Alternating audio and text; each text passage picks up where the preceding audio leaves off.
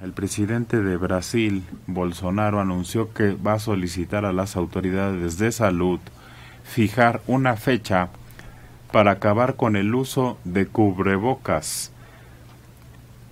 Bolsonaro se ha posicionado en contra de la obligación legal.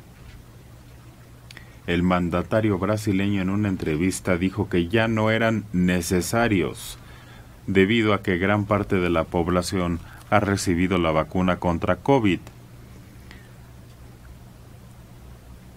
Los datos muestran que únicamente el 25% de la población de Brasil ha recibido el esquema completo de vacunación, mientras que el 60% ha recibido únicamente la primera dosis. Ah, pues van como nosotros más o menos.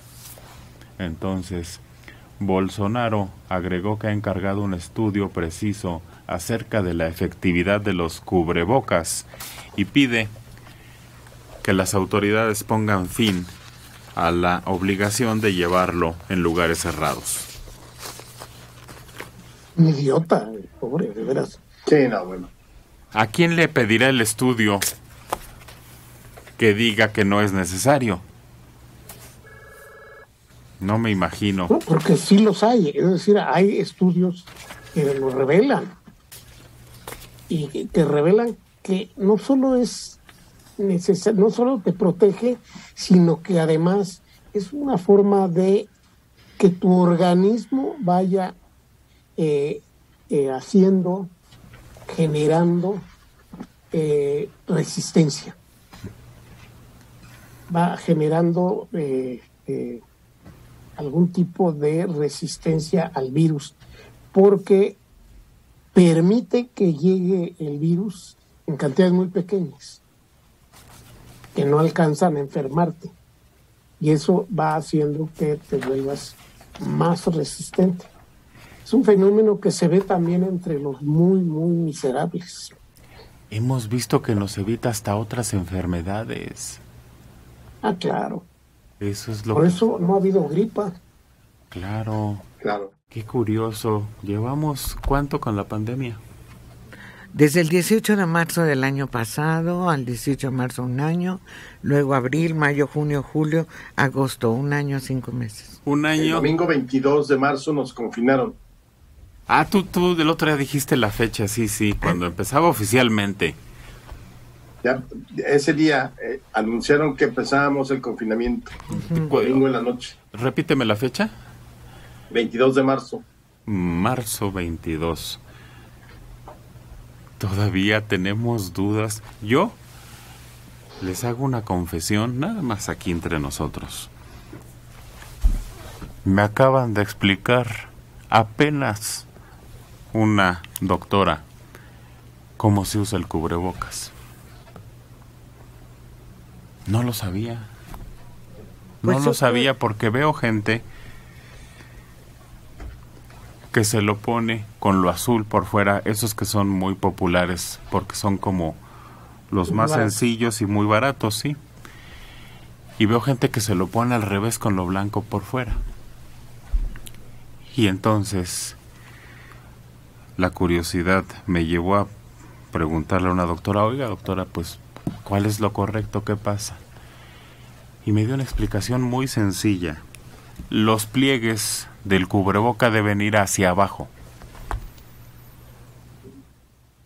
Pero es que entonces lo de la nariz, bueno, claro, hay quien tiene un soporte en la nariz y eso debe de ir en la nariz porque hace el doblez y tiene el cubrebocas que pegarse lo más posible a la cara. Pero los pliegues hacia abajo.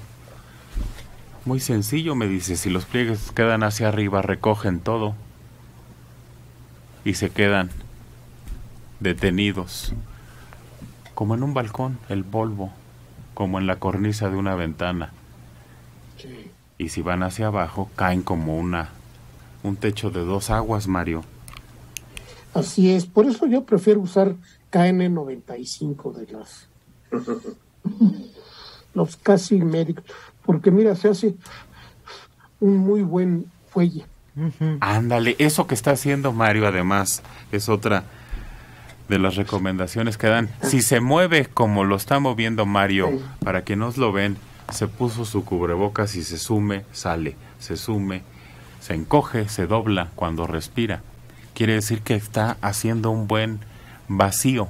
Filtro, sí. Y que está haciendo su trabajo. Sí, sí. Si en un cubrebocas usted sopla y siente el aire en su mano, no sirve, tírelo a la basura. Bueno.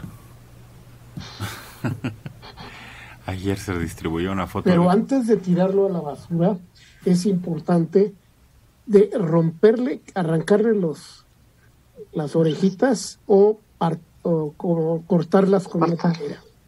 Ah, Eso le salva la vida a infinidad de aves y peces. No, cállate porque los vuelven a usar. Sí. Además, sí. Se circulan. No, pero no lo tire, no sea tan drástica como dice Adela. Póngalo en los recipientes indicados. Sí, pero lo puedes usar doble. Lo puedes usar doble y ya, porque hay unos que se pueden usar arriba de los médicos y ya se ven más bonitos por lo pronto. Pero es curioso que apenas estamos descubriendo algunas modalidades del uso del cubrebocas y de todos esos productos que ahora nos dominan, los geles, los termómetros, porque nos miden la temperatura en la mano y tampoco dicen que eso no sirve. No. De nada. ¿Te acuerdas que al principio hubo una escasez de cubrebocas? Sí. Sí. Pero te has fijado que ahora los venden en cualquier lado, en los altos. Como venden las cajas de pañuelos desechables, ahora también te venden una caja de cubrebocas. En la calle. En la entrada al metro, si tú vas a entrar al metro, ahí están. Ahí en la colonia Roma, donde hay varios hospitales, hay camionetas en la calle anunciando oxímetros, anunciando este termómetros, cubrebocas, en la calle. Pues eso. También los artesanos hacen muchos de, Frida Kahlo. Ah, sí. Ah, sí. y de superhéroes y no sé qué tantas cosas. Bueno, pues vamos a seguir utilizándolos porque es una cosa que ha traído beneficios colaterales, beneficios colaterales.